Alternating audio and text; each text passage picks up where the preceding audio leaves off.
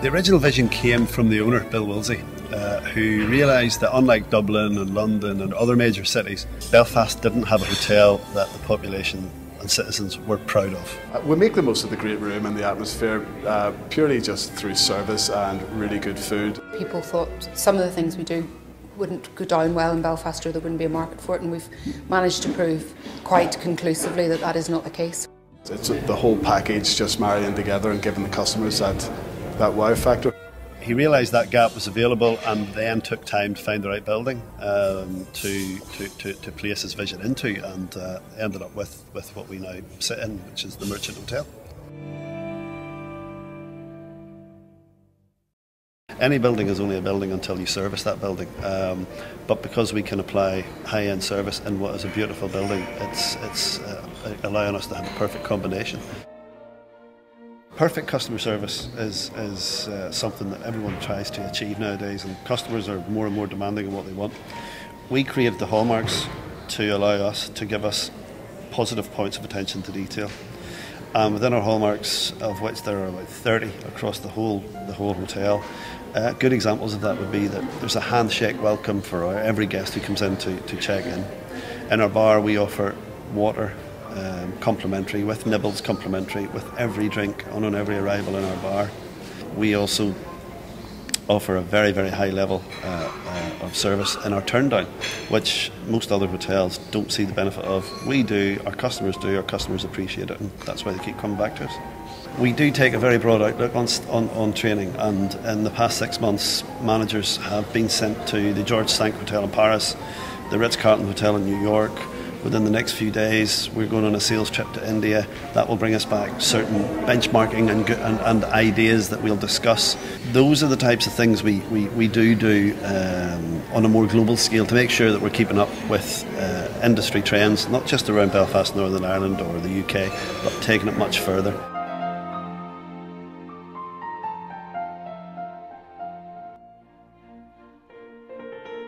The food ethos of the merchant is very simple. It's um, very the very best of local produce that we can find where possible. Um, if it's not the best produce, we'll source it elsewhere. Cooked very simply, simply with passion, with flair, and with um, great attention to detail. The importance of local producers is paramount to the kitchen of the Merchant Hotel. It, it, I, I, believe it makes the success of any good kitchen.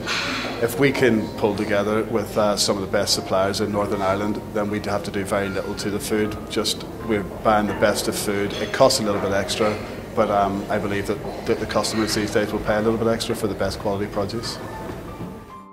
The branding of the Merchant Hotel was incredibly important to get right.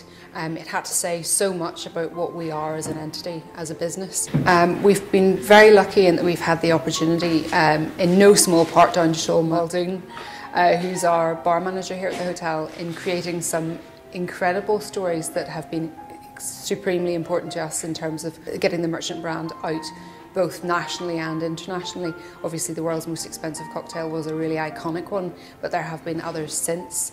Um, they, they have been supreme drivers for the PR of the, the Merchant Hotel. I've had literally global inquiries about that from as far afield as, as Hong Kong, Singapore, um, through to Sydney, Australia, and of course uh, locally closer closer to home too. The merchant's drink offering is seriously important to the hotel. Um, we have a whole flock of international visitors coming to visit our bar, and I think it's very important when you're a five-star hotel um, and a world-class bar that you have to have a drink offering that uh, accommodates most tastes. I'd been around and I'd seen a lot of different establishments in the years before coming here, and I knew exactly what I wanted to do. If I was going to do it, I wanted to work in a world-class hotel bar and I wanted to be given an awful lot of responsibility. Um, having a lot of responsibility is the key to the success. Um, once people stand in your way and create obstructions, it, it, it's impossible to run. So it starts from the top. It's because the guys, the bosses, um, are prepared to take a gamble on me. And, uh, and then one of the things that Bill said as well was that he wants me to keep taking it to the next level. He never ever wants me to become um, to feel safe, to feel like we've got there, we've achieved it. He wants me to keep achieving and keep achieving and keep achieving so that the competition finds it harder and harder and harder to catch up with you.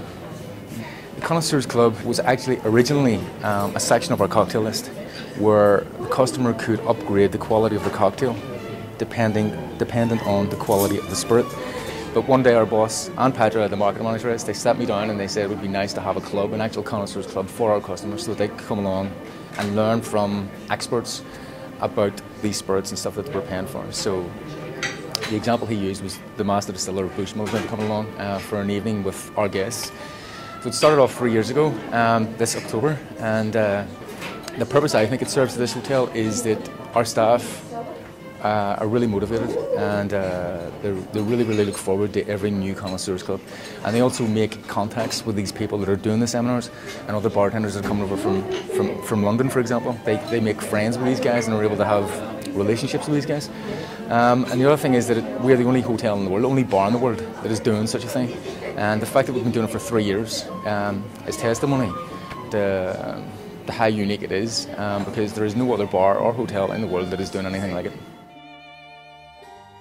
Just recently, we've been given a hat trick of awards at the uh, New Orleans Tales of the Spirit Awards, uh, and they are the Liquid Oscars. They are the most singular important uh, drinks awards in the industry, and we uh, we're up against the likes of the Georges V in Paris, the Dorchester in London, um, and as I say, a hat trick of awards later. We'll find that very hard to trump, but uh, tremendous achievement. We're really delighted with it. Um, it's not just the bar. We've we've recently achieved AA five star status, the only hotel in Belfast to have that. Um, all those things are extremely important in, in giving people an understanding of, of what the, the calibre of what we do here and, and what we're all about. Yeah, it's a tough environment to work in at times, and our staff need to be happy. If our staff aren't happy, then there's very little chance that they're going to provide a, a, a, good service to, to our customers.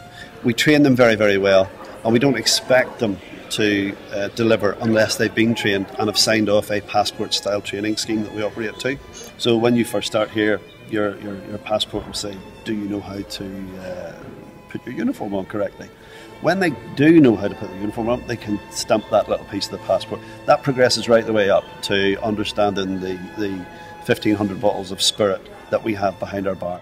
At the Merchant Hotel, we like to think of ourselves as great innovators. We are um, extremely uh, open to ideas. We look out there to see what other people are doing, um, how we can benchmark and improve on uh, what our competitors maybe have locally and also literally across the globe. And um, in in that process, we've discovered lots of good ideas and, and generated lots of our own fresh ideas. Um, it's important to get the input coming in all the time. Uh, the feedback from the customers is very important. Obviously, um, they're the ones who make or break your business, so you have to you have to look after them very well. I mean, this is very very important that the customers come in here. It's a beautiful room. We have to make them feel very special. The, the food's only a, a, part of that. You know, we have to deliver very good food, but it also has to be served by these guys with very professional service and and it has to be the whole package. So really, the customers, what the feedback from the customers is very, very important. We, we, charge, you know, handsomely for the services we offer, and we need to know that what we're offering is being appreciated, and where we go wrong, and we do go wrong, uh, how to fix it. And unless our customers tell us, unless we ask our customers, then we won't know where we're going wrong. Um, we won't be able to redirect our, our budgets, we won't be able to redirect our strategies, we won't be able to redirect our plans because ultimately we are about customers. And if we forget that, if we ever forget about it, we've, we've lost and we can just close the shop.